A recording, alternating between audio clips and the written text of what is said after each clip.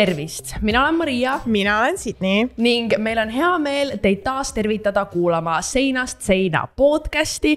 kui te kuulate meid päeval, kui see episood üles läheb, siis äh, meil on hea meel, et olete tulnud meiega nädalas selgroogu murdma. ma ei kavatse selle cheesy naljaga veel niipea lõpetada. me just kuulsime, et rahvale läheb see peale ka, nii et. jaa, nii et suurepärane, ma ei kavatse kunagi lõpetada. Neile, kes siis äh, meie podcast'i ainult kuulavad, aga ei vaata, siis teadke, et videopildis me praegu kõigile vaatajatele lehvitame ja täname kogu tehnilise setup'i eest Karjääristuudiot, kes on selle podcast'i tehniline partner. nüüd täna on meil jällegi külalisega episood ja ma pean ütlema, et ma olen seda episoodi nii kaua oodanud, sest juba esimesest hooajast saadik see oli mu podcast'i episoodide ideede listis. ja meil lihtsalt on nii kaua aega läinud, et lõpuks see episood ära teostada ja meil on siis täna tulnud oma lugu jagama üks täielik girl boss. Business woman, hustle queen, working queen ja ühtlasi ka tegelikult minu väga hea ja lähedane sõbranna Anna tervist. tere tere! ma usun, et sa oskad ennast ise kõige ametlikumalt ja paremini tutvustada, nii et äh, teeme selle ametliku osa ära ja siis me saame hakata rääkima teemast. Minna kohe teemasse. jaa, absoluutselt. Äh, ma olen Anna, olen kahekümne aastane, olen väikeettevõtja ja tulen sellisest äh, ettevõttest nagu Not Your Average Lifestyle Company, mis on siis maailmas üksainukestest superfood coffee ettevõtetest, mis ei kasuta superfoodidena siis seeni, et aga sellest vist lähemalt hiljem jaa. Ma kuulan seda juttu ja ma olen juba mingi, jah, ta ongi business queen. ta on tulnud siia, ta teab, millest ta räägib, ta, tahan olla sina käest nagu, tahan olla sama enesekindel, istuda maha, mingi jah, ma teen seda. Ja, ja tänases episoodis me hakkamegi ühelt poolt rääkima sinu kui väikeettevõtja teekonnast, et kuidas sa sinna jõudsid ja teiselt poolt äh, ka teie ettevõtte alustamisest üleüldse nagu nii noorena oma ettevõtte alustamisest. ja ma just enne rääkisin ka omavahel, kuidas Annal mul on nii pikalt nii hea sõbranna, aga mul on ikka nii palju küsimusi. sest mul on tunne, et kui sa nagu sinna ettevõtlusmaailma sisened, kui sa nagu nii-öelda jutumärkides kasvad suureks, siis sul ei ole nii palju aega kogu aeg koos istuda ja, ja jutustada, kuidas on see, kuidas on see, vaid sa tegeledki päriselt selle ettevõttega. ehk nagu ma olen väga elevil tänase episoodi pärast ja ma usun, et kõik kuulajad peaksid ka olema. ja, ja ma arvangi, et me siin alguse tutvustuse saime tehtud ja väga hästi said hakkama Queen shit reaalselt äh, et äh, sa oled kahekümne aastane, see on, see on väga noor. Ja kui ma mõtlengi, et enne kui me jõuame täpselt selle no, su nagu reaalse ettevõtteni, siis kust sa üldse tunned, et sul tuli sihuke nagu ettevõtlustahe, et, et kas sind on, kas on kuidagi su perelt tulnud või see on sult kuskilt mingi ise tulnud, et, et ku, kuidas sa nagu kahekümne aastasena oled mingi, mina tahan alustada oma ettevõttega no mul selles mõttes mõlemad vanemad on tegelikult ettevõtjad mm, aga ma pigem ütleks, et mul selline nagu kodus ettevõtmine äh, on pigem nagu külmaks jätnud. ja kuna ma kunagi olin meeletult äh, mõjutatav inimene kõikide Muud. enda lähedaste, kõikide enda sõprade poolt, et äh, ma arvan, et ma olen mingi viiskümmend trenni läbi käinud ainult sellepärast, et keegi mu sõpradest on seda teinud yeah.. nii et mul sihuke viimane hoog oli vist üheteistkümnenda klassi alguses, kui ma hakkasin kevadega ehk siis enda hetkese firmapartneri ja parima sõbrannaga äh, rohkem läbi käima. ja ma kuidagi sain nagu meeletu šoki, et kuidas ühes inimeses on nii palju elutahet, elusära, aktiivsust lihtsalt nii palju nagu kõike. et ma tahtsin nii räigelt olla nagu tema. ma hakkasin temaga suhtlema juba nagu sellest hetkest ma hakkasin mingisuguseid ideid, mingeid asju endale nagu üles kirjutama.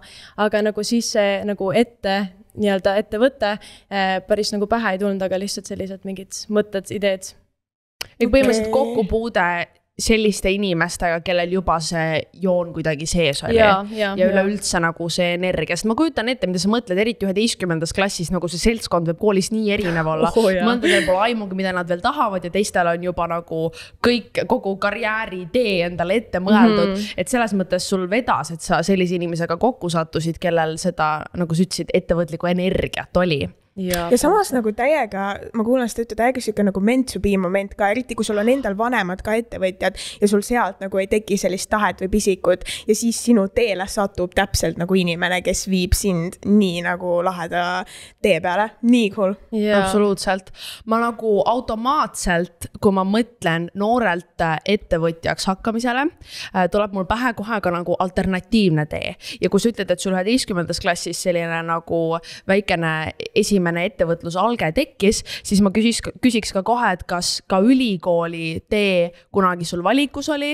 Äh, et meil lihtsalt siin podcast'is see ülikooli teema käib nii palju läbi yeah., me ei pea sellel pikalt peatuma isegi, aga mind lihtsalt huvitab, et kas nagu sul käiski juba keskkoolis mingi see switch, et sa tahad, võib-olla sul polnud kindlat ideed, aga et midagi sa ise tahad teha või sa ka kaalusid äh, ennast minna täiendama ülikooli edasi mul tegelikult oli ülikool kuni kaheteistkümnenda klassi alguseni suht sihuke kindel valik, et ma olin üpris kindel, et ma tahan äh, minna teha selle nagu asja nii-öelda võimalikult kiiresti ära.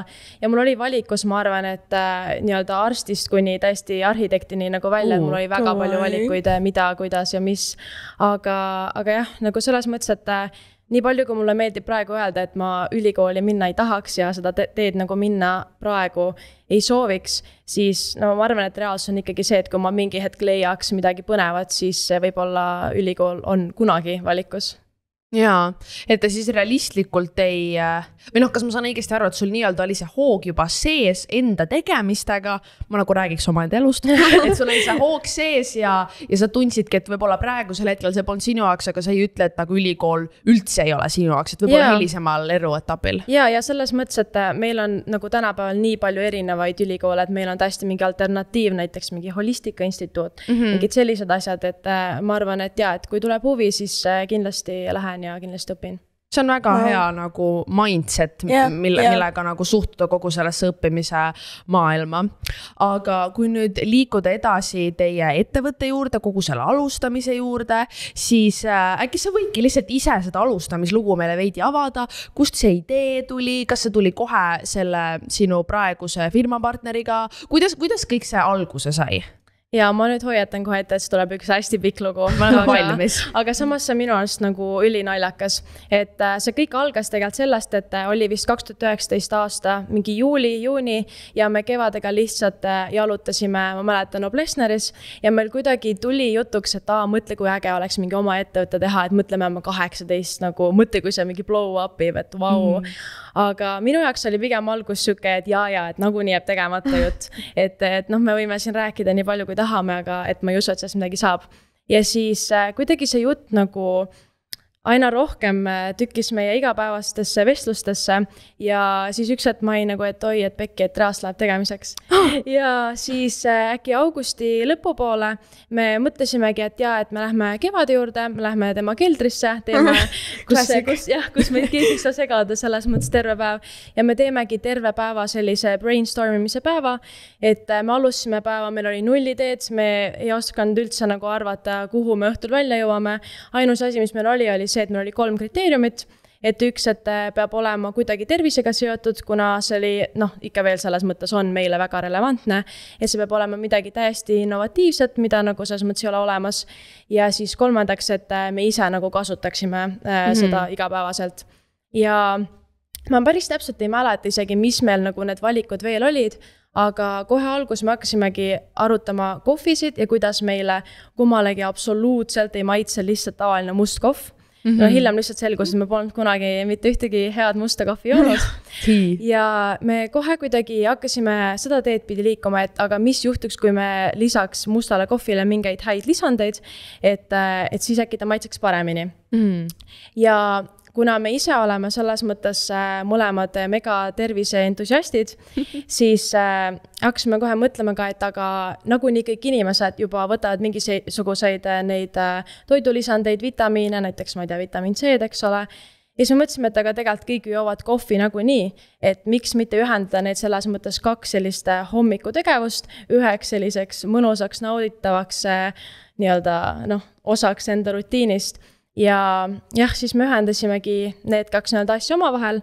Äh, meil tuli alguses välja neli siis äh, väetoitudega kohvi, räägime eesti keeles. Uh.. ja üheks oli ja siis näiteks äh, rosé all day ehk siis roosikohv siis meil oli Let That Mango, mis on äh, mango tšillikohv. Äh, neid kahte nüüd enam kahjuks meil valikus ei ole. Vintage. jah, jah, täpselt, kui kuskilt saab, siis andke teada. aga, ja siis on veel Rise and Shine, mis on võib-olla mujal maailmas tuntud ka kui bulletproof coffee mis on siis kookosõliga. ja mm. kolmas, mis on täiesti innovatiivne, ikka veel tegelikult maailmas mitte midagi sarnast ei ole, on bedtime coffee ehk siis unekohv et äh, ma sellele niimoodi natuke teen siin promo, et äh, see on ja äh, kofeiinivaba, melatoniiniga ja päriselt toimib, et kui magama ei suuda jääda, siis soovitan väga. ja igatahes jah, need olid meil need neli esimest, mis tulid. Nendel kõigil selline ühine joon oligi see, et Nad kõik sisaldasid ühes tassis terve päev äh,, nagu päevase normaalse koguse C-vitamiini ja muid selles mõttes jah, vitamiine. Et äh, nii-öelda jah, selle ühe tassiga said kogu oma selle laari tehtud. ja kusjuures üli minu meelest äge asi, mis me ka natukene hiljem avastasime, oli see, et ülipaljudel inimestel tekib pärast kohvi joomist selline kas nagu peavalu või mm -hmm. siis mingi värinad või lihtsalt mingi üliräme energy crash või väsimus Jaa. ja äh, me uurisime välja, et see tegelikult tuleb sellest, et äh, äh, nii-öelda laiatarbekohvis või tavakohvis on äh, väga palju erinevaid toksiine ja väga palju hallitust, mis äh, Oh. kõlab väga-väga rõvedalt. Ma olin, ma olin nii šokis, kui ma sellest hallitusest teada sain su käest, sest ma olin nagu, mida ma olen igapäevaselt tarbinud mm -hmm, siiamaani. Mm, -hmm, uskumatu. Ja,. siis äh, ülitihti ongi see, et inimesed näiteks joovadki kohvi ja ma olen kuulnud ka, et inimesed on rääkinud, et tead, huvitav, miks mul juuksed peast nagu välja kukuvad, et ma olen jah kohvi joonud. Ja jah, aga tegelikult jah, need kõik asjad võivad tekitada selliseid äh, nagu väga koledaid kõrvalnähtusid mm. -hmm. ja siis me hakkasimegi kohe valima iseenda ube ka selle järgi, mis on nagu testitud sada protsenti kõikide nende halbade nii-öelda asjade vabaks mm. -hmm. ja siis, kuna paljudel inimestel esineb ka võib-olla lihtsalt sellist kofeiinitundlikkust, siis nende superfood idega äh, tekitab või noh, tähendab äh, ta rohkem võib-olla nagu tasakaalustavad seda kohvist tulenevat energiat. et mm. äh, jah, selline väga, väga põhjalik. jaa, ei, mul on hea, see annab nagu hea ülevaate Jaa, kohe, et jaa. mis te olete, mida, või tähendab, kes te olete, mida te teete. aga ma korra tuleks paar sammu tagasi. sa ütlesid, et teil läks mõte kohe nagu kohvimaailma peale. kas teil oli mõni muu valdkond ka alguses laual või, või see kohv oli nii naturaalne osa teie päevast juba niigi, et te lihtsalt läksite kohe sellega? ma ausalt öeldes ütlen ausalt, et ma ei mäleta päris täpselt, ma mäletan seda, et äh, minu jaoks, no tegelikult ikka veel on see teema, et äh, mulle õudselt meeldib näiteks, kui sa lähed sõbrannaga kuskil lõunatama mingi nelja-viie ajal ja siis ongi pärast tahaks mingi kooki, mingit kohvi võtta, aga siis on alati see probleem, et aa, et ma ei jää pärast magama. ja ma arvan, et päris paljudel inimestel on nagu see, see mure ja probleem ja siis ma kohe kuidagi hakkasimegi mõtlema selle peale, et aga tegelikult mõtle, kui lahe oleks see, et sa saad nagu terve õhtu juua kohvi või nagu terve päev. ilma selleta, et sul oleks mingi õhtul või tähendab öösel mingisugune all-nighter, vaata Jaa.. et, et selles mõttes ja, ja vist, vist midagi muud nagu ei olnud, et me hakkasime kuidagi sealt kohe kerima ja. aga kaua teil see miiting seal keldris kestis, kas te olitegi nagu terve päeva seal või, või see oli, see Jaa. tuli nii, okei, me olime okei. ja olime ikkagi suht terve päeva ja mm Mhm. -hmm. äkki mingi üheteistkümnest mingi kuueni lausa. aga siis oligi nagu õhtul kuueks oli, oli idee ja juba Jaa, nagu see jaa, ah,, nii ma lahe jaa ma ise ka imestan. ma arvan, et seal peab olema mingit ka sellist äh, nagu loomupärast pealehakkamist või nagu see, et te jalutasite, et teil lihtsalt tuli see idee, isegi kui see alguses tundus suht, et nagu ja-jah, on ju, et eks näis, siis nagu see, et te võtsite selle aja, et istuda, olla mingi davai, nüüd me mõtleme. et nagu mul on nii suur respekt selle vastu, sest ma nagu, kui ma kasvõi vaatan inimesi, kellega mina kokku puutunud olen, siis on vähe neid, kes ongi mingi davai, istume maha, teeme ära, mõtleme. et see mõtteviis on nagu minu meelest nii, nii, nii äge Jah.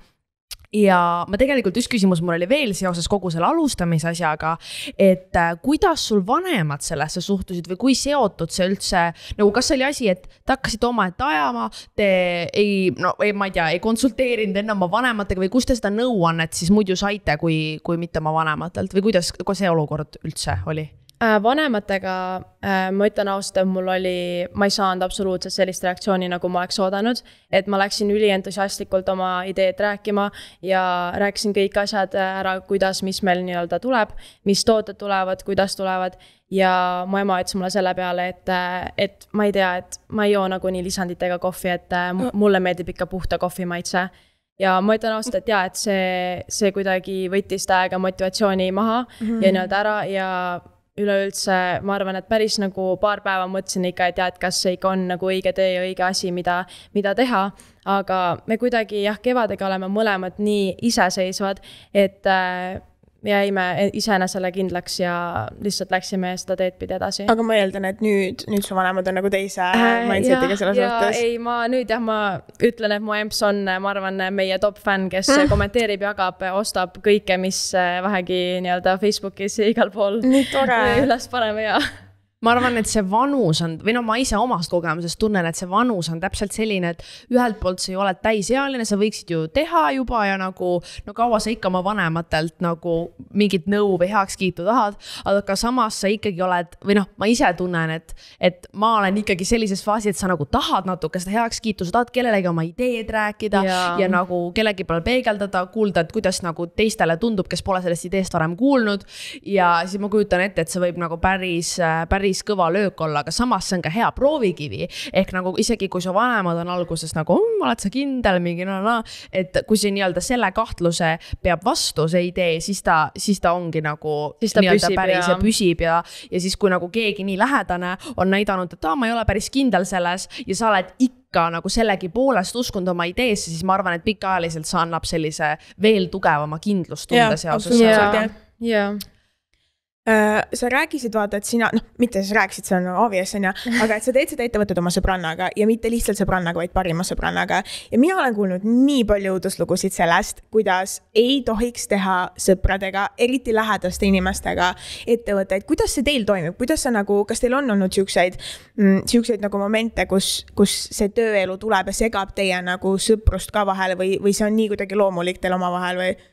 Äh, ma arvan, et äh, ülipaljudes olukordades on pigem see, et äh, sa oled juba inimesega parim sõbranna, parim mm -hmm. sõber, pereliige või mis, mida iganes. ja sa lood ettevõtte. meil oli nagu täiesti vastupidi, et me olime nagu sellised noh, tavalised sõbrad, et nii-öelda koolis vaata rääkisime kõike. pigem oli sihuke, et ma usaldan sind, sa usaldad mind mm, -hmm. et teeme nüüd äkki midagi lahedat et mm. pigem meil oli selline asi ja kogu selle nagu protsessi vältel me oleme saanud sellisteks nagu väga-väga äh, lähedasteks sõpradeks okay,, nagu parimateks sõpradeks. aga selles mõttes, et äh, eks ikka nagu meil ka noh, on mingeid konflikte, nii, aga äh, mis see ettevõte on mulle meeletult õpetanud, on kommunikeerimine mm. -hmm. ja ongi see, et sa räägid oma perspektiivist, tema räägib oma perspektiivist. et ei ole kunagi seda, et ma tahan, et nii oleks ja, ja nüüd nii on. et alati on vaja nagu leida see mingisugune vahepealne, mis nagu mõlemale selles mõttes noh, sobib täielikult. ja, ja sihuke kuldne kesktee ja, ja teha kompromisse ja ülifair ja mul ongi tunne, et nagu selliste asjadega alustamise puhul ühelt poolt sa tahad kedagi, kes oleks nagu mingilgi moel sulle ikkagi ka sõber, et nagu päris võõrast inimest lihtsalt leida, olla mingi davai, teeme, nagu sa ei, sa ei tea, milline, milline inimene ta on, kas sa saad teda usaldada, nagu sa mainisid mm. -hmm. et, et selles mõttes see on võib-olla isegi ideaalne variant, mis teil on, vähemalt mulle nii tundub, et algselt ongi see mingi usaldus olemas, on nagu üksteisega on mugav olla, saate rääkida, arutada Äh, ja siis see sõprus kasvab koos selle ettevõttega, et see ongi teie nagu ühine lüli, mitte seal ei ole mingit aastatetagust äh, ajalugu, mis võib mingi ja. hetk nagu üles tulla. et selles täpselt. mõttes tundub, et teil on väga nagu hea olukord selle koha pealt. ja, ja ma liiguks edasi selle juurde, et te olite seal keldris, teil tuli idee äh, üllatavalt detailne idee, et mm -hmm. olid ka juba tooteideed ja, ja mul nagu tekib kohe see tunne, et kuidas te astusite selle esimese sammu selle tegemise poole, et okei okay,, ma olen ise hästi suur planeerija, ma võin välja mõelda igast asju, aga siis on küsimus, et nagu kust ma reaalselt alustan. pluss nagu mul tekkis ka kohe see küsimus, et, et kust te seda know-how'd saite, kas te uurisite kõik ise, kas te leidsite kellegi, kes teid aitas selles valdkonnas? Äh, kohviga, äh, nii-öelda kohvi valdkonnas ja me alguses leidsime kohe endale nagu mõned inimesed, kes Äh, selles mõttes teavad meist rohkem. aga kõikide nende superfood'ide kohta me ikkagi uurisime selles mõttes äh, kõike ise.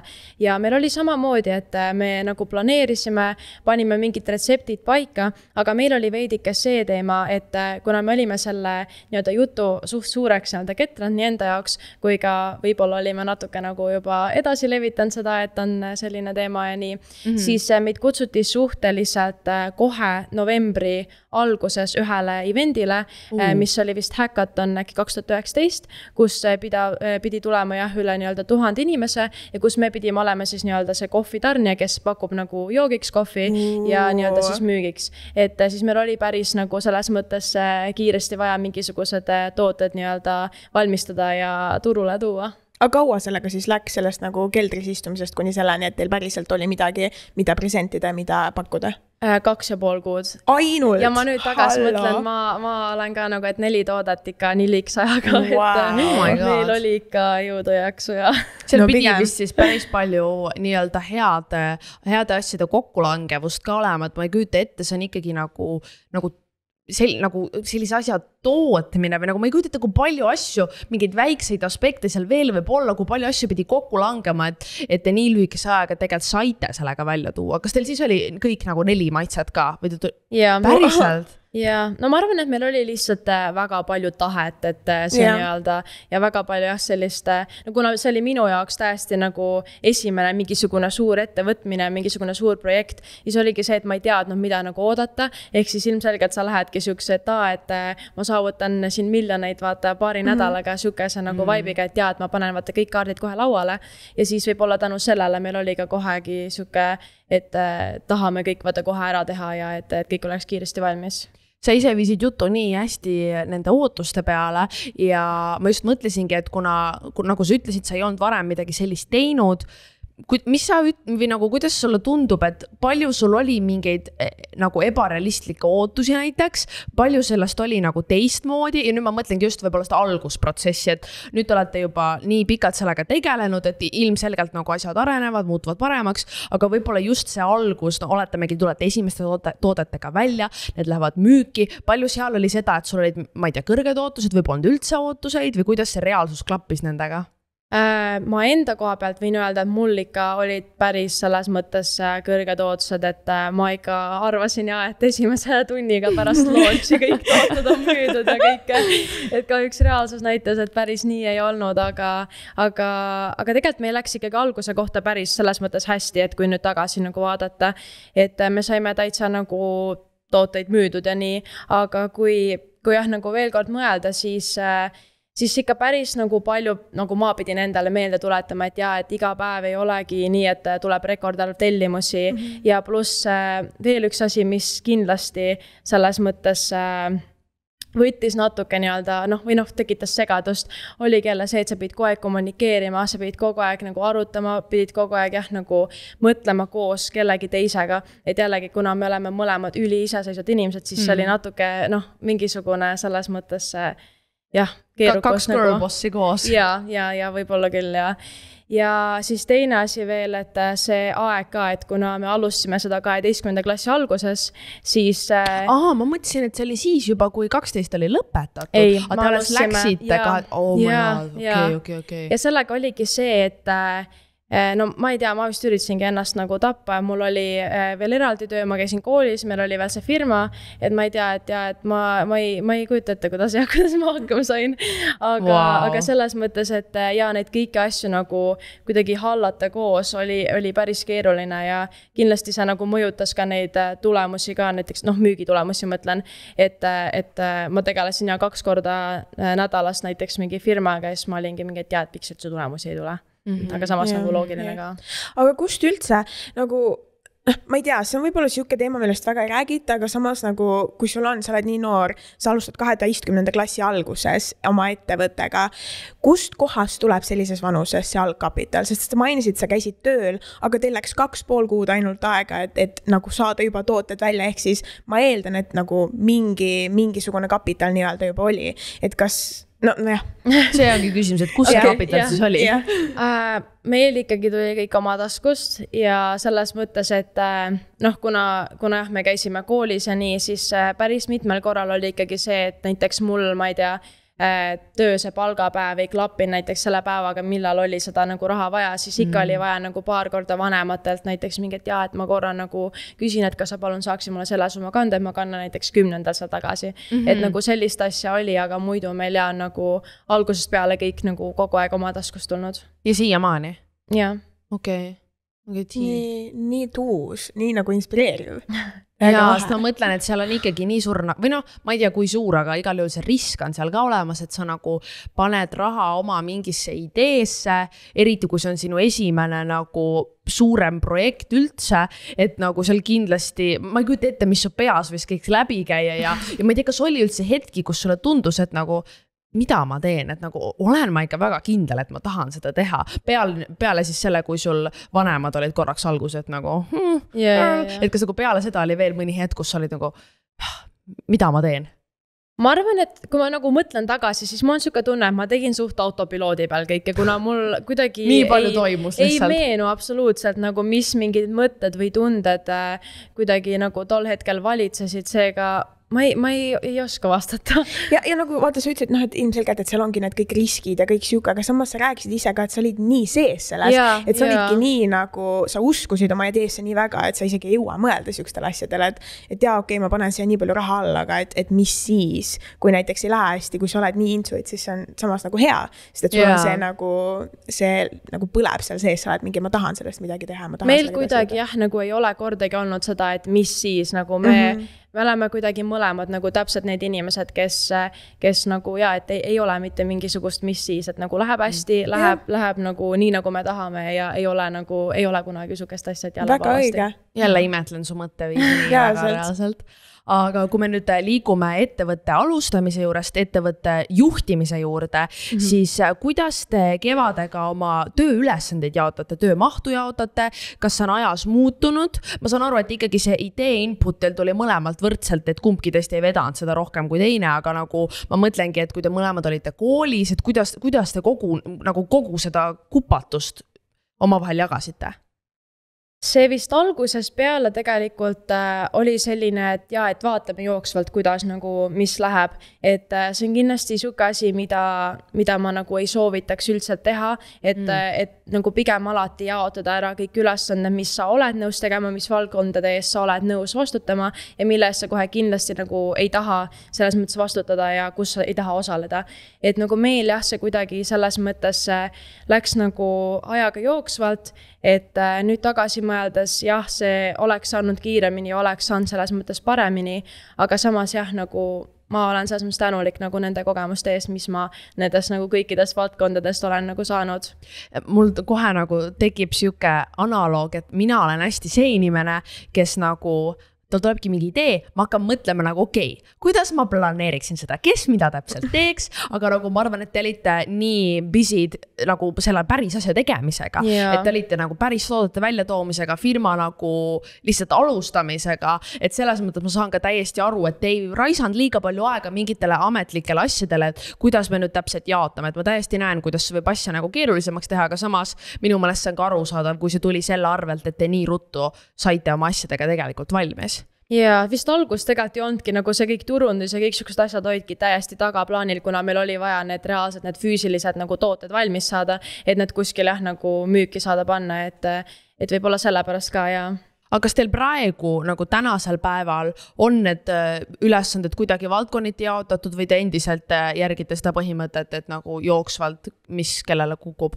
ei, meil pigem on ikkagi see, et meil on nagu mingid kindlad valdkonnad ja siis äh, vahepeal on see, et kui on näiteks äh, vaja abi kuskil või mingisugune, ma ei tea, juhe jooksis kokku, et äh, tule aita, siis nagu, siis, siis me aitame üksteist ja. kas ma võin küsida, millise valdkonna eest sina vastutad, mind lihtsalt sõbrana nii huvitab Äh, no,. kas sa oled rohkem see, kes on selle toote nagu sees, sees, mis superfood'e me järgmisena paneme või sa oled pigem see, kes ongi mingi, et davai, milline meie insta feed välja näeb või nagu mis poolel sina ise seal oled? Äh, ma olen äh, see, see pool, kes tegeleb äh, raamatupidamisega ehk siis selliste okay. pigem koledamate asjadega. ja ma olen ka selline nagu, kes suhtleb äh, klientidega pigem ja mm -hmm. tegelen nende jaeasjadega. ja jah, kannan hoolt selle eest, et kõik oleks äh, pakendamisteks ja asjadeks olemas, et kevad on meil see turundus ja, ja Instagram ja feed ja kõik sellised. see on nii hea nagu, see on nii hea, et sa nii noorelt sellise kogemuse saad sest jaa. ma ise täiega tunnen, et just see nagu nii-öelda inimestega suhtlemise pool, kogu see tehniline pool, ma nagu ei ole sellega nii palju üldse kokku puutunud ja ma võib-olla samamoodi olen rohkem seal Instagrami poolel ja turunduse poolel, mitte et see vähem oluline oleks, aga ma lihtsalt mõtlengi, et, et see annab sulle ka nii hea nagu kogemuse, sest ma kujutan ette, et eelnevalt nagu sul ei olnud aimugi, kuidas seda kõike teha, et sa pididki tegelikult jooksvalt kogu selle asja õppima, et ühesõnaga suur respekt. Väga-väga lahe ja, aga mis sa tunned, et teil nagu siiani, te olete nii, noh, mitte nüüd nii pikalt, aga te olete seda suht pikalt teinud, mis, mis on siiani nii-öelda suurimad need äh, väljakutsed või siuksed äh,, mis on, ma hakkasin soomekeelset välja üt- ütlema. väljakutsed ongi tegelikult hea sõna. jaa, aga mul Jah. tuli teine nagu hea sõna ka, kas on soome keeles, nii et ma lihtsalt ütlen väljakutse. okei, väljakutsed. ma arvan, et tegelikult ikka veel on see, et, et kunagi ei tea, kui kaua mingisuguse tootega nagu võib aega minna, kui kaua mingisuguste jah, nagu protsessidega võib aega minna. et vahepeal ongi see, et on ülikiire, sul oleks vaja näiteks tänaseks, ma ei tea, kella neljaks vastust, aga, aga see klient või keegi näiteks ei vastagi järgmise nädalani. ja mm. siis noh, igasugused selles mõttes sellised nagu ajalised pigem asjad, et, et jah, et nagu kunagi, kunagi täpselt ei mm oska öelda et ta on nagu sellis-, selles mõttes nagu kujundlikus võtmes öeldud nagu suur süsteem ja kui vahel mingi asi takerdub kuskile, mille üle sinul kontrolli pole, et siis nagu lihtsalt ongi nõme olukord, kus sul jääbki kelleltki nagu vastus saamata. no see ongi lihtsalt ettevõtte juhtimine nagu Reaalselt. girl boss things konkreetselt. Äh, ja ma küsiks kohe siia kõrvale, et kas oli ka midagi, mida te ei osanud nagu ette näha, näiteks, et või noh, ma ei oska isegi midagi näiteks pakkuda, aga, aga nagu te, ma saan aru, et teil oli suht hea flow, te nagu läksite midagi nagu otseselt väga pekki pole veel läinud, mis mitte veel polegi läinud. ja te olete nagu oma asjadega nii hästi hakkama saanud, aga kas on ka mingi nagu üllatusmoment olnud, et midagi, mida selles, ma ei tea, valdkonnas või üldse oma ettevõtte omamise juures üllatusena tuli või mida te ei osanud väga ette näha Äh, no esiteks kindlasti kogu see tagasiside ja kõik selline, et üldiselt on ikka see, et sa teed näiteks, ma ei tea, kellelegi midagi, ma ei tea, küpsetad kooki, mis iganes. ja teine on mingi, et vau wow,, et see on nii hea, et nii lahe, aga sa oled nagu, eh, noh, okei okay, mm, -hmm. vaata, et tore, et ma tegingi selle sulle. Aga sellega on täiesti nagu teistmoodi, et, et kui inimesed nagu tulevadki ja ütlevad sulle, et, et ma pole kunagi nii head kohvi joonud või et, et, et vau, et see kombinatsioon sellega on nii äge, et kuidas sa selle peale tulite. või näiteks teine asi, mis, mis alati nagu kuidagi lööb jälle pildi selgeks, on see, et et kas sa oled reaalselt kakskümmend, et, et sa, sa oled reaalselt, sa oled kakskümmend, et sul on enda ettevõte. et sellised asjad on alati kuidagi nii nagu, et vau, et ma reaalselt nagu, ma olen kakskümmend ja ma olen nagu midagi, midagi nagu,. vaat see on nii tavaline, et sa kuidagi ise kaod sinna ja, sisse ja, ära täpselt, ja. ja see on sihuke moment, mis toob tagasi, et oot-oot-oot, ma olen kakskümmend, mul on ettevõte, ma teen sihukest asja, see ja. on täiega cool jah ja, ja nagu, et sul on nii noorelt selline vabadus, et paljud sinuvanused üldsegi nagu tegelevad sellega, et kuidas nad ülikooli kõrvalt ennast üldse toetada saavad. ja, ja samamoodi nagu hustle itakse nii, nagu sa kaheteistkümnendas klassis kolm asja korraga tegid. ja nagu ma arvangi, et võib-olla see, see nagu vabadus võib isegi kõige ägedam olla, vähemalt mulle kõrvalt tundub, et, et need ongi sinu enda tegemised, kui sul, ma ei tea, kõik mingid töögraafikud, asjad, sa saad ise sättida, millal sa midagi teed ja kuna sinu, sul see tegu tegusjoon on sees olemas ka, siis, siis või no muidugi ma ei tea, et kas sul on ka mõni selline päev, et sa üldse ei tegele, ma kujutan ette, kui see on sinu enda asi, sa ikkagi nagu enamikel päevadel tõused üles, tegeled suure motivatsiooniga. ja, ja, ja ei no eks selles mõttes ikka, et meil on äh, nagu koos nagu tööpäevad kevadega esmaspäevast reedeni ja laupäeval, pühapäeval on üldiselt see, et nagu, et, et kui on vaja miskit, miskit juurde teha. kui mm, -hmm. või mingisugune hiilgav mõte tuleb pähe, et siis ikka teed Teil on esmaspäevast reedeni on tööpäevad ja siis nädalavahetus vaba, kuidas see siis nagu välja näeb, kuidas see rutiin, milline su päevarutiin on? mis on day in the life of Anna? jah yeah. um, mul tegelikult, äh, ma ärkan üpris nagu erinevatel kellaaegadel, et mm. oleneb, vahepeal on sihuke kell kuus, vahepeal on kell seitse. kell kuus. aga ma ei tea, ma, ma naudin sihukest asja, mulle täiega meeldib, ma olen täiega see, kes, kes jah, ärkab hommikul äh,. jah, ma ei tea, ei taha siin väga rääkida, aga jah, ma olen see, kes kirjutab oma seda journal'it hommikul ja vahepeal kui viitsin, siis hommikuti loen ja aga mul vaheküsimus tegelikult no,, kui me juba hommikul vara ärkamisest räägime. ma ise olen ka selline, et kui ma lähen ülivara magama, siis ma naudin hullult vara tõusmist, see on nagu lihtsalt hommikuinimene. aga kas sul pole näiteks praegu suvel seda tunnet, et kõik su ümber mingi käivad, pidutsevad, on viieni hommikul väljas ja nagu selleks, et sa saaksid vara ärgata, ükskõik, isegi kui see pole iga päev nagu mingitel päevadel, sa ju pead ka vara magama minema, et kas, kas sul on ka seda olnud, et, et, et nagu kõik sinu ümberringi kuidagi nii-öelda lõbutsevad ja siis sina ärkad iga hommik ja teed tööd sest see on nagu, mul on endal sihuke tunne vahepeal mul on kogu aeg sihuke tunne selles mõttes, et, et ma, ma kunagi nagu, ma üritan alati endale nagu meenutada seda, et, et see on täiesti okei okay,, kui nagu ka ma lähen peole, vaata, või teen, ma ei tea, mhm. mingisuguseid äh, jah, nagu õhtuseid tegevusi mm, -hmm. vaata, pärast nagu üldiselt enda magamis nagu kellaaega. et, et see on nagu, see on täiesti okei okay., lihtsalt äh, mul on alati see, et äh, ma tunnen ise, et mul läheb tervis nagu ülihalvaks või nagu, et mu unekvaliteet ja kõik asjad lähevad ülipaigast ära. et ma on üli nagu morn ja nii, kui, kui ma nagu, ma ei tea, käingi seal kaks korda või näiteks mõlemal nädalavahetuse päeval peol ja nädala sees nagu väga ei tule kõne alla kahjuks mm.. ja kui tulles nüüd selle töörutiini juurde tagasi, sul jäi seal jutt pooleli, et sulle meeldib mm -hmm. vara ärgata. Ja, ja kuidas teil ülejäänud osa seal korraldatud on? Äh, no meil on üldiselt see, et meil on üheksast kolmeni on äh, selline registreeritud tööpäev siis, aga, aga enne üheksat äh, me käime kevadega esmaspäevast reedeni jõusaalis või siis pikemalt jalutamas ma just mõtlen, me oleme City'ga ka ju omamoodi business partner'id, kas me peaks ka enne salvestusi hakkama jõuksis käima? ei tule kõne allagi. nalja teed, ma ärkan su, ta, ma ärkan siis kolmest, kui tal tööpäev läbi saab nagu. see on, see on, see on täiesti okei okay., nagu vahepeal on ka siukseid päevi, kus, kus sa lihtsalt oled eelmine õhtu, et reaalselt, et kevad, sorry, me ei lähe homme jõuksi või siis, või sorry, me ei jaluta ka, et saame kell kümme hoopis kokku ja, ja vahepeal on see, et me saamegi kell kümme kokku ja siis on kuidagi lühendatud vormis see tööpäev. aga üldiselt jaa, meil on jah see, et nagu ühe üheksast kolmeni, vahepeal on nagu vähem, vahepeal on natuke kauem. Ja siis pärast seda on juba see, et äh, iga, iga inimene läheb oma nii-öelda rada pidi, et no vahepeal teeme mingeid koos asju, vahepeal on see, et ma ei tea, ma saan kellegagi kokku, tema saab kellegagi kokku, et täiesti mm -hmm, nagu mm. -hmm enda mingi plaan. Teil selles mõttes nagu siis energia match ib, et ei ole seda, et üks tahaks mõni päev väga kaua magada, teine tahaks varakult olla, et teil selles mõttes on mingi selline äh,, ma isegi, mis see sõna on, et te nagu olete samal lainel. et te ikkagi mõlemad nagu ei, ei ole sellist asja, et ma nüüd täna otsustan, et ma magan kaheteistkümneni, las see kevad olla seal üheksast hommikul kontoris. ei, meil on alati kõik läbi räägitud, et see on, meil on alati see, et jah, et kasvõi kui hommikul, ma ei tea, magad sisse, siis äh, oled ikka, et, et kuule, et reaalselt, et kogemata juhtus nii, et saame, ma ei tea, pool tundi hiljem kokku, siis okei okay,, davai, aga nagu kunagi ei ole seda, et üks ei tule kohale, siis teine mingi, no et kus sa vaata, kus sa oled. aga kas teil kopp ette ei viska üksteisest või? see on ülihea küsimus ja kusjuures ei viska, meil okay., me oleme nüüd jah, nagu äh, jaanuarist saati peaaegu iga päev näinud, mis wow. on jah nagu töö, selles mõttes töö ja ja, ja niimoodi äh, nagu mõttes mm. -hmm. ja kusjuures jaa, et ei ole visanud, ma ise imestan ka, kuna mul üldiselt viskab inimeste suht kiiresti mm -hmm. nagu kopa ette. aga, ja kusjuures ta on ka öelnud, tal on samamoodi, et, et see on nagu, see on jah naljakas, aga et ei ole juhtunud sihukest asja. aga palju te siis ka vabal ajal koos olete, et kui ongi nädalavahetused üldiselt on nagu vabad, kui midagi väga pole vaja teha, et palju te siis nagu ka nädalavahetuseti koos midagi teete või see ongi pigem nagu, et läbi töö te juba veedate nii palju aega koos ja siis ülejäänud ajal on oma teised sõbrad või kuidas äh,? No me, meile lihtsalt endale meeldib alati öelda, et me oleme üksteise peaaegu ainsad sõbrad. nii et, äh, nii et ülitihti juhtub ka seda, et me tegelikult oleme nädalavahetuseti ka nagu koos.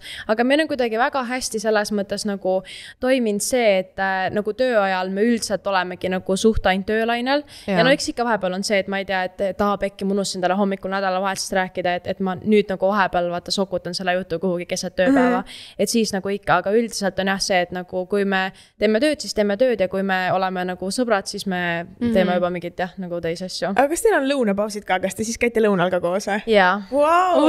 äge, miks me nii amazed sellest oleme me hakkame Sydney'ga ka nüüd töötunde panema lõunapausi endale book ima yeah. Aga nagu tundub, et teil on nii hea energia selles suhtes, et te oletegi samal lainel, te tahate teha samat asja, teil on sama palju ka motivatsiooni.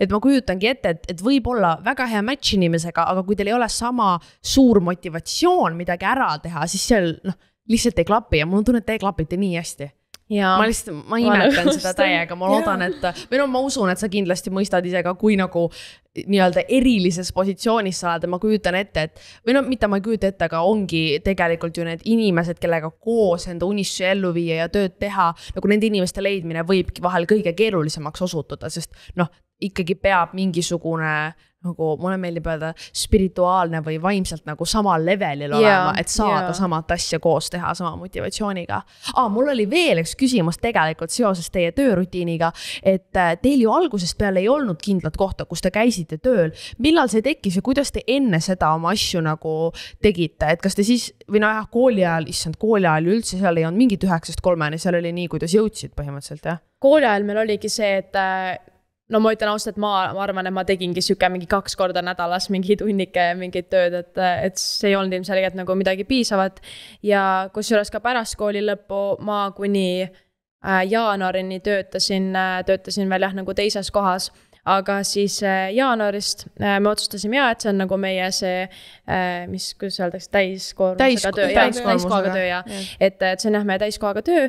Ja siis me lihtsalt hakkasimegi sellest ajast peale, me käime seal Worklandis Vabaduse omas ja, ja enne seda jah, kuidas, kes, kus jõud-, jõudis ja vahepeal tegime mingisuguseid selliseid äh, a la kohvikupäevi, mingi terve laupäev äh, brainstorm ime jälle mingisuguseid äh,, ma ei tea, turunduskampaaniaid või mingeid kampaaniaid, projekte. väga äge ma küsin siia vahele, kas sa muidu elad kodus veel või sa elad eraldi? jaa, ma elan kodus. okei, okei, jah.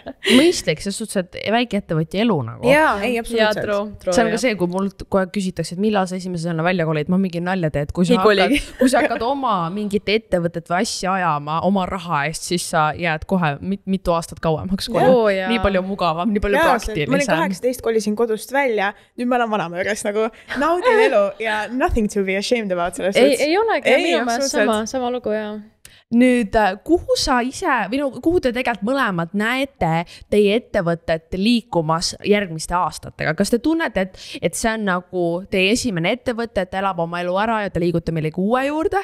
Või te tunnete, et praegu ikkagi põhifookus on selle projekti kasvatamine ja edasi järgmistele tasemetele viimine? Äh, kindlasti see teine variant, et ei mm -hmm. ole sihukest äh, võimalust nagu liigume lihtsalt eludega edasi. Äh, meile mõlemale meeldib hullult unistada suurelt ja ma alati nii-öelda innustan teisi ka mõtlema üli-ülisuurelt. ja eks meil ikka on siuksed unistused, et terve maailm vallutada jagu ja Mars ja kõik teised planeedid. aga, aga jah, et äkki järgmiste jah, nagu aastate jooksul me tahakski nüüd suuremalt seda Euroopa turgu nii-öelda siis äh, vallutada. kaasata, vaalata va,, va, vaalata, vaalata, vaalata ja vallutada ja siis edasi liigume USA, USA turu poole.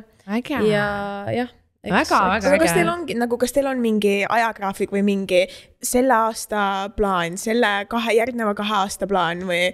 Äh, meil tegelikult äh, oli äh, ja selles mõttes ikka veel ta nagu on, aga noh, kuna meil oli siin koroonakene ja mm -hmm. kõik sellised asjad, siis päris paljud nagu plaanid läksid natuke untsu. kuna oligi, et noh, olenevalt siis teistest riikidest, siis need igast piirangud ja asjad olid nii erinevad, et kas ei saanudki näiteks üldse mingisugust, ma ei tea, tootenäidiseid asju saata, kuna lihtsalt nagu nii karm oli mm. -hmm. või siis äh, meil oligi plaan, et nagu sellel suvel äh, lähme Suurbritanniasse äh,, see ka nagu noh yeah., nii-öelda nihkus edasi, et, et jah, selle koroona pärast on päris palju nagu okay. nii-öelda nihkesse läinud ja no oluline, et mingi suur siht oleks silme ees ja selles mõttes alati ei saagi kõike detailselt ette planeerida, et ikka ja. võib nagu iga kell võib midagi ootamatut ette tulla ja ma arvan, et see ongi hea, kui te ise suhtutegi sellesse nii, et nagu plaan on olemas, aga noh, reaalsus ei pruugi alati sada protsenti kattuda, aga vähemalt teil on siht silme ees, kuhu poole te liikuda tahate.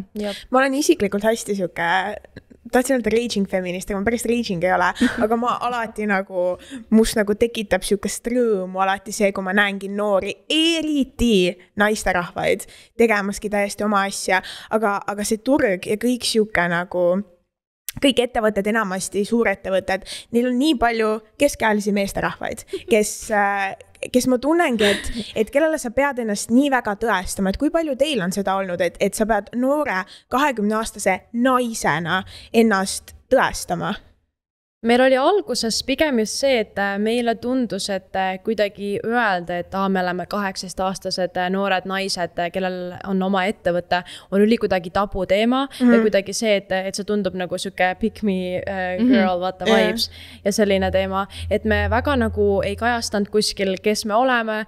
ma ei tea, sellel kodulehel meil ei olnud ka kunagi näiteks pilti endast, et nagu mingi about us või mis iganes yeah.. Mm -hmm. et, et sihuke asi oli ja meie jaoks kuidagi ülikauge ja ebasobilik, aga siis üks hetk, tegelikult mitte väga ammu aega tagasi, oli päris mitu inimest, kes olid mingi, et, et, et vau, et aga, et te olete ju nii noored, et, et miks te nagu ei kajasta seda kuskil. ja see moment äh, oligi täiega kuidagi see, et, et oota ma olen reaalselt kakskümmend ja yeah., ja mul on nagu oma ettevõte ja nagu sellest hetkest alates me oleme kuidagi nagu hästi julgelt endale noh, teistele ka selles mõttes seda nagu S-asjana kuidagi peale. ei, väga õige, aga kui te käite nagu, no sa mainisid ka, et tahtsite Suurbritanniasse minna, kui te käitegi, ongi, no ma eeldan, et teil on mingisugused koosolekud ja mingisugused äh, läbirääkimised, siis kas nagu tuleb siukseid momente, kus teie poole vaadatakse, on mingi, aa, nad on mingid noored tšikid, et äh, noh, et kas nad ikka teavad äh,? Ma pole väga tunnetanud sellist nagu vibe, ütleme nii, aga selles mõttes, et, et on nagu projekte, millest on nagu ära öeldud mis noh, võivad olla selles mõttes äh, sellisel noh, põhjusel mm. -hmm. et aga, aga jah, ma ei tea, me kuidagi vaatame sellest mööda, et äh, küll ei, väga hea, ja... see on, see on ülihea, kui sa saadki käia nendel ja ollagi mingi, et jah, ma olen siin ja keegi ei vaata seda halba asja, sest see ei peaks olema sihuke asi, mida sa vaatad, et aa, et nüüd mingi noored tatsavad sisse, vaid see peakski olema, et, et sul on idee, sa oled seda juba mingil määral teinud ja sa, sa oled ennast juba tõestanud, et sa ei peakski käima ja tundma, et sa peaksid ennast tõestama kogu aeg. ehk ülihea, et sul ei ole seda kogemust. ma arvan ka, et, et ma alguses saan või noh, kaudselt ma võin täiesti aru saada, miks ta alguses oli, tegelikult las olla meie toode, las me ise olla tagaplaanil, aga aga jällegi ma arvan, et tänapäeva ühiskonnas järjest enam ka preach itakse, et sa oled noor ja sa yeah. oled naine, sa yeah. oled nii tubli yeah. ja nagu kõik sellised asjad, et see on endal ka nagu empowering tunne, et, et davai, et ma, ma olengi sellise asjaga hakkama saanud ja, ja ühelt poolt jah, inimesed äh, soetavad seda toodet, seda ideoloogiat toote taga, aga samal ajal ka seda, et nad saavad toetada noori ettevõtjaid, et selle koha pealt ma kindlasti usun, et, et see on üliäge, et te olete ikkagi ennast ka yeah. nagu nii-öelda isikut isikutena selle brändiga sidunud, nii et nagu jah. sest et mul nagu kohe tekib äh, teie brändiga nii palju sihuke nagu isiklikum side, kui ma tean, kes seal taga on, sest et mul ongi see, et aga ma tahan toetada, ma tahan toetada noori naisettevõtjaid, mul on kohe sihuke nii, võtke, võtke kõik mu raha reaalselt. Ma naeran, et mina olen ka mingi jaa, minul on sama, rääkimata sellest, et sa mu väga hea sõbranna oled, aga üldiselt nagu ma, ma suudan ennast panna, et kui me ei oleks sõbrannad, mul endiselt oleks seesama tunne, millest sa rääkisid yeah., et sa saadki noori enda vanuseid toetada ja, ja nagu ma ei tea, jube äge, ma läksin mingisse emotsionaalsesse äh, roller coaster'isse praegu.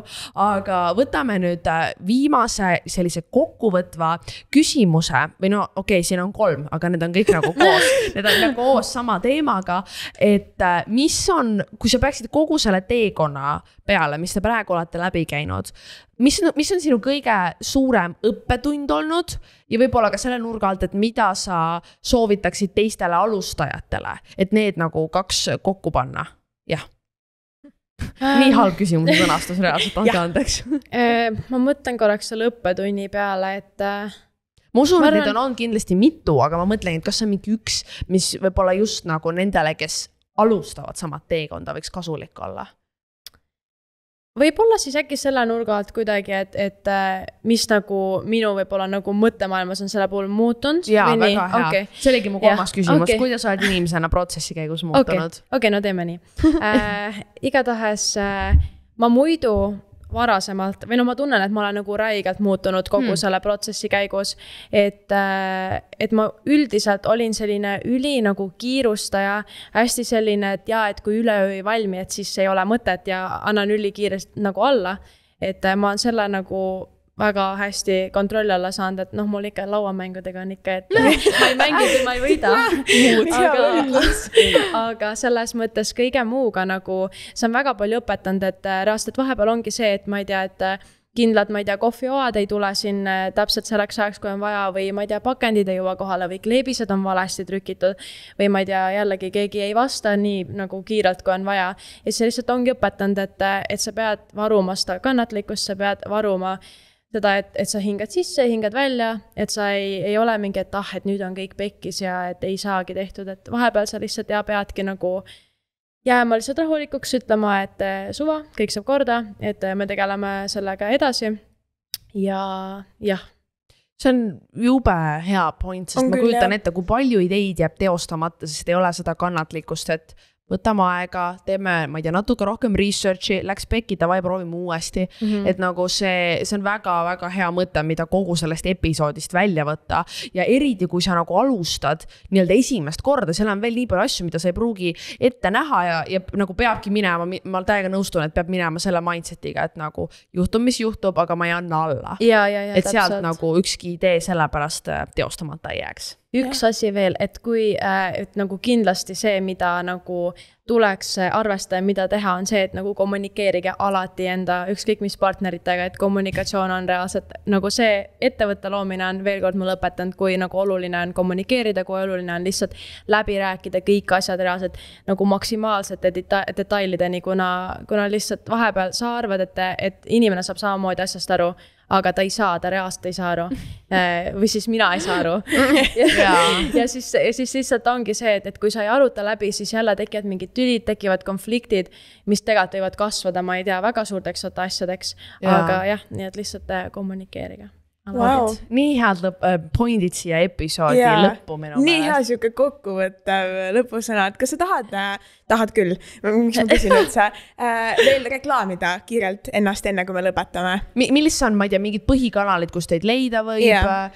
Instagramis vist tegutsete Jaa, kõige jaa. aktiivsemalt, kui ma ei eksi. jah, meid äh, jah, võib äh, leida siis äh, Instagramist, not your average CO on äh, meie Instagram. Episoodi kirjelduses on ka need lingid kindlasti olemas. ja kui soovite tellida või lihtsalt tutvuda meie toodetega, siis äh, notyouraverage.coffee.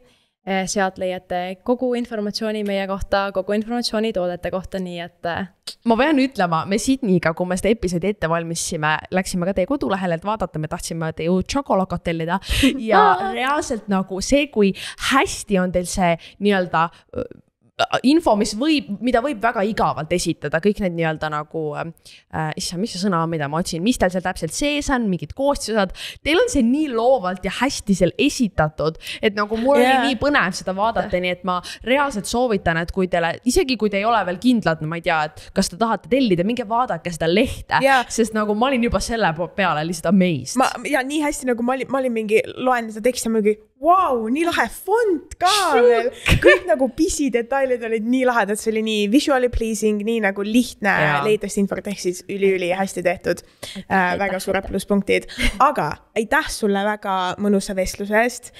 aitäh, Maria, et küsisid ka nii häid küsimusi aitäh sulle, Sydney. ja ma loodan, et kuulajatel oli tore ja, ja põnev ja tegelikult, mul tuli praegu väga eksprompt idee, aga nagu me tavaliselt siia video alla, mitte tavaliselt, vaid siia video alla saabki kommenteerida, kui teil on veel mingeid lisaküsimusi, me võime vabalt lasta Annal ka neile vastata mm. -hmm. nagu ma arvan, et enamikele küsimustele saab ka teie kodulehelt vastusega, kõik mõtted võite ja kõik mõtted võite alla kirja panna ja ka oma, ma ei tea, kui kellelgi on veel noorelt ettevõtluses kogemusi, siis see kommentaarid võivad ka olla väike portaal veel erinevate jaa, nõuannete sihuke. foorum. Väga äge mõte. ma olen excited, et lugeda neid kommentaare nüüd. vot, kuulge, aga aitäh teile ja Aitäh kuulajatega teile. kuuleme juba järgmisel nädalal uue episoodiga.